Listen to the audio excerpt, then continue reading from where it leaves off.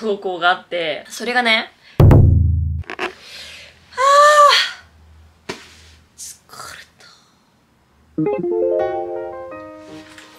最近ミラベルにはまりすぎてずっとなんかネタバレ工作を見てる。いいよね。今更ながらあのディズニーオンアイスを見てからすごいあのハマっちゃって。めっちゃ見たいなと思いつつディズニーチャンネルも撮ってないし見れない状態だから。見たい見たい見たい見たい見たい待ってなんかかけられてる。お父さんかけてくれたんだ。じゃーん。届いたんだよねこれ。はあめっちゃ可愛いんだけど見て。ブーのバースデーコラボ。ビビビビビビビビかわいい。これちょっと着させてみたかったんだけど。えー、ウケる。今日はまあナータンちゃんは預けてるのでいないのでその間にちょっと愚痴喋りたいと思います。ということで本音喋りたいと思います。皆様家事育児お仕事お疲れ様でございます。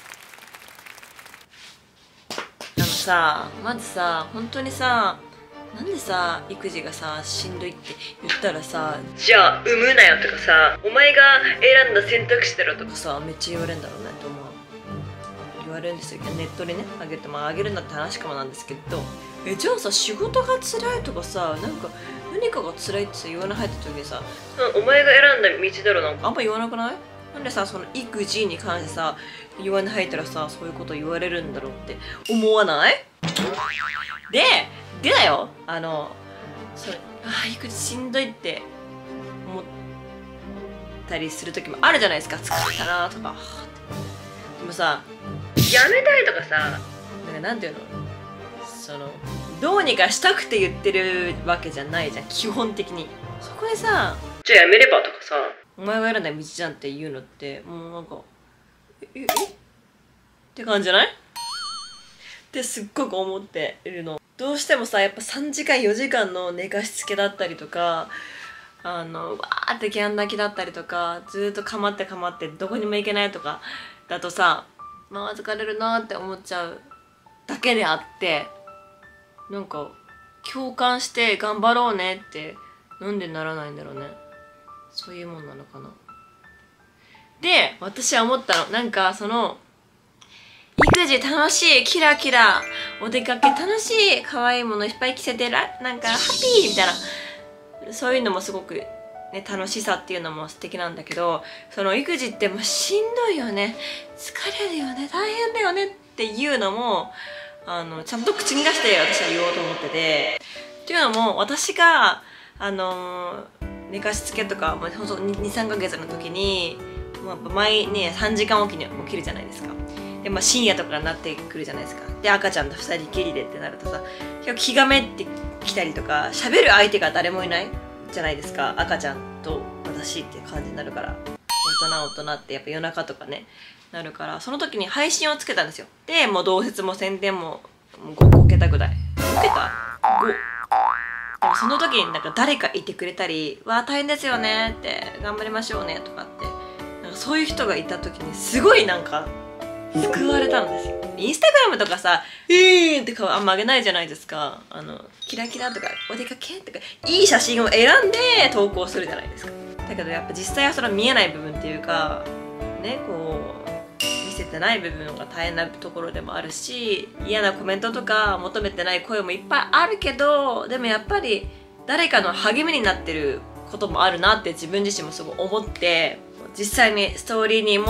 時間も生活しつけわーって言ったらすっごい数のもういつも普段全然誰も反応してくれないような。私お出かけとか言っても誰も反応してくれないのになんか分かるとか頑張りましょうとかイエーイみんなで団結みたいな感じのねあのいただいたのであ弱音を吐いたりとか、まあ、リアルな声をそれが良かれか分からないけどあげることによって誰かの励ましになってるんだなってでまた他の人友達とかもなんか楽しそうに毎日お出かけしていいなって思うけど実はこれが大変なんだよって弱音吐いてもらったりするとさあそうだよねわかる頑張ろうってやっぱなるから弱音を吐くこともあの言葉にしてね伝えたりとか大事なんだなって思いました。なんかいいまとまりになってしまった。まあ、とにかくそのあの育児のように入ったらお前が選んだ選択肢だろとかいうことに対して目がつくって話です。あとねこの間本当に久々にめっちゃくちゃムカ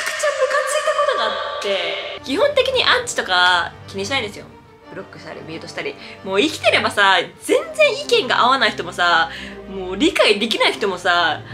あとは理解してもらえない人もいっぱいいるからもう全員に私の気持ちとか私の思いが伝わって共感してくれて、うん、みんなで仲良くニコニコなんてやってたらもう生産も起こらないしさ、うん、じゃないですか。だからそれはいいんですけど久々に本当にめちゃくちゃめちゃくちゃムカついてあのモデレーターに愚痴った投稿があってそれがねはぁと思ってめなんかいつもなら別にスルーできるのはーいって感じだけど。でもそのなんかさプライベートの一部のプライベートの瞬間を見てなんかそういうなんか判断っていうかマイナスな判断っていうかそれでコメントしてるっていうのが怖いしなんかめっちゃムカついちゃって。だしじゃあ仮にそれで預けて全部見てもらったとしても引き抜けくらいで何が悪いのって感じじゃないですか。えそれ丸一日放置してるの？丸一日だったとしても預けてることあるじゃないですか。家族とっていうのでねもう本当になんか理解ができなかったんです。何にも。何にも理解ができないしそのオフっていうかプライベートでじゃあ一緒の友達と遊んでもらってるとかそういうことに対してなんかそう見られてえ全然育児してないじゃん携帯いじってんじゃんやばっつって、まあ、思うのは自由だけどそれで投稿わざとコメントしてくるってさもう。めっちゃムカついたわけ。久々に。これは本当にムカつきましたよ。自分も多分子育てしてるか人の赤ちゃんか分からないんですけどその人アイコンが赤ちゃんだったんですよ。だから自分もその人がちゃんと育児してたら誰かにちょっと見てもらったりとかもなかったのかもしれないですけどね。羨ましかったのかもしれないですけど。そうもうほんとチャンネル登録外してくれてありがとうって感じでもう関わりたくなくてなんか反応したくなったんだけどはあみたいな感じで。反応したら負けじゃないですか。だってもう理解そこで理解ができないのに理解されようとしとあのラリーを続けるのって無駄だと思うんですよ。私本当にもう本当自分の性格もなんですけどあこいつ何言ってんだろうって思ったら戦いやめちゃうんですよね。無駄じゃん。分かってもらうまでいや私の意見はこうだよ。違うよこうだよってラリーを続ければいいんですけど。あ、まあ、もういいや、まあ、バイバイって。なっちゃうの。一緒の人います？そんな感じです。だから基本的に私もそのムカつくそのフードコート事件があってもって思ったけどいやもうこの人とラリー続けるのは時間の無駄だと思ってしまって。何も言わなかったんですけどちょっとここであのー、おだぶつチンさせてください。といったところで皆様あの私の愚痴を聞いてくださり誠にありがとうございました。皆様もなんか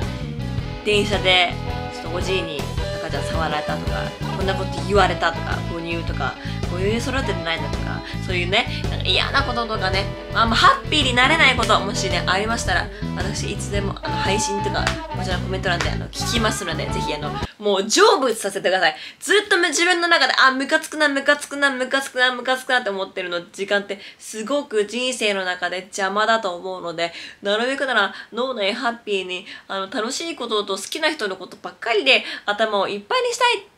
してほしいなって思いますので、もうムカつくイライラこの野郎って思うことはもう吐き出す、伝える、吐き出すっていうことで、あの、私のあの SNS を通してあの伝えてくだされば嬉しいです。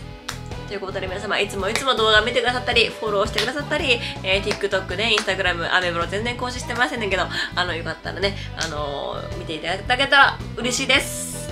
またねー